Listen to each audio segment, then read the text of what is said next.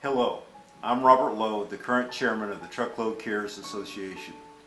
This year, as part of Driver Appreciation Week, we are introducing Ditch the Pack Day. On September 20th, we want to encourage people to stop smoking and bring awareness regarding smoking and the options you have available. I personally want to encourage you to stop for one day because one day can equal a lifetime. Here are the facts. One in five Americans smoke, but 67% of long-haul truckers smoke. Smoking damages your health. Smoking is the cause of 30% of all cancer deaths and 80% of all lung cancer deaths. Don't be a victim. Don't be part of those statistics.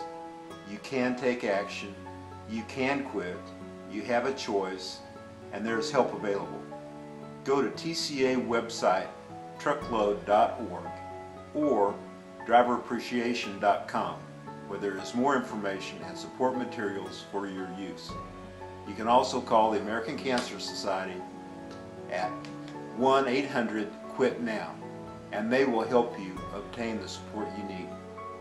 We all need to take action. We all need to talk about it, to support people, to help with cessation. Please consider taking some action today. Truly, every second counts. One day can make a difference in your life for the rest of your life.